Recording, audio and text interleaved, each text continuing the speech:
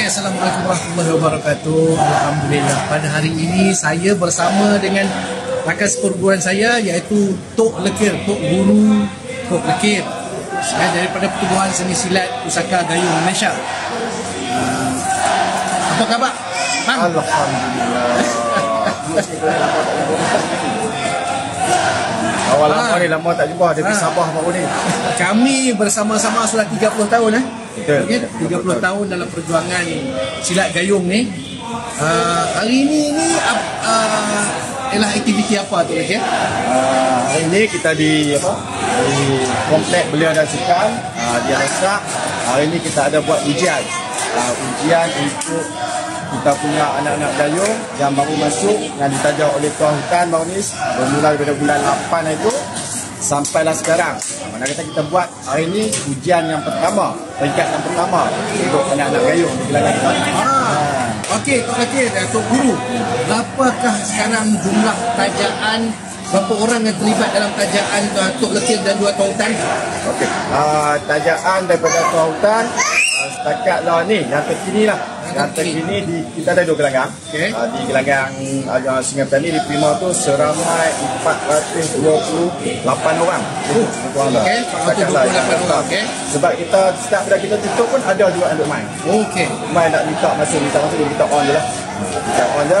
Tu yang dia low start, seramai 300, lebih kurang 341 macam tu lah. Ha, setakat, setakat minggu lepas pun ada lagi juga. Macam tu juga. Alhamdulillah, maksudnya aktiviti gabungan kita berdua ni mendapat sambutan dan juga sokongan daripada rakyat Malaysia. Alhamdulillah.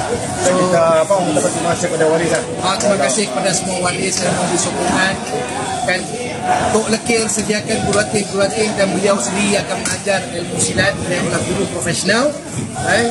dan saya tugas saya adalah uh, mencari dana dan juga sokongan daripada segi pentadbiran kepada gelanggang gelanggang ini jadi teruskanlah uh, sahabat-sahabat uh, rakyat Malaysia menyokong usaha kami berdua jika berjayanya usaha kita ni apa tindakan kita seterusnya Insya Allah kami follow Tuan Hutan. Mana kata Tuan Hutan nak buka di mana pun, kami follow saja. Ya, itulah dia.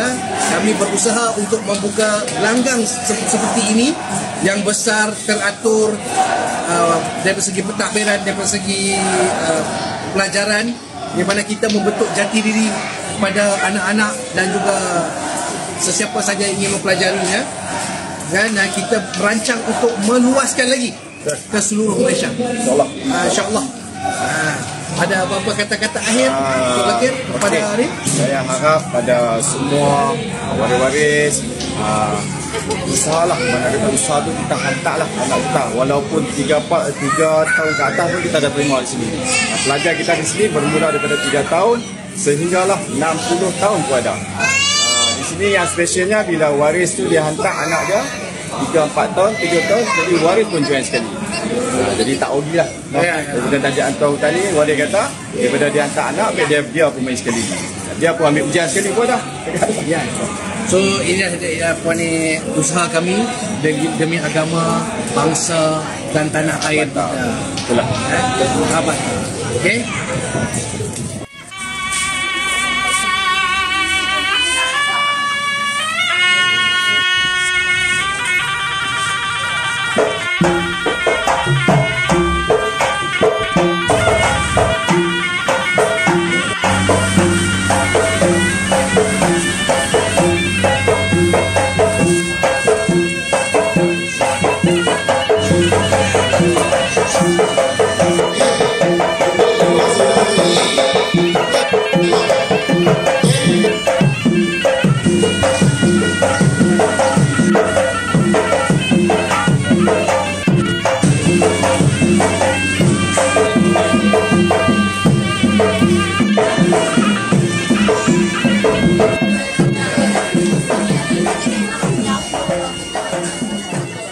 Benda pertama saya buat selepas saya bersara adalah saya balik duduk dengan Datuk Raja Abdul Majid di rumah beliau. 100 hari saya duduk di situ. Saya nak balas balik jasa baik guru-guru yang telah mengajar saya, yang telah bina diri saya ni. Saya dengan Tok Lekir dapat satu idea. Lekir, hang buat gelanggang silat, saya cari duit setakat mana saya mampu. Maka bermulalah projek gelanggang Tok Lekir bersama Tuan Hutan di Sungai Petani yang merupakan gelanggang silat terbesar di Malaysia